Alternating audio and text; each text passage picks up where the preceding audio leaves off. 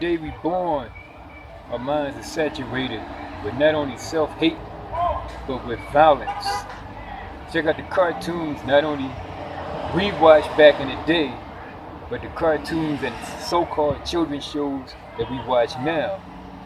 It is perceived that people being blown up, decapitated, run over, shot, drowned, burned alive, electrocuted is all perceived as funny. Now, what does that do to a child's psyche as they get older and that goes into their subconscious? A lot of times you see when a when a cartoon or somebody on a so-called children's show gets shot or blown up, they turn black.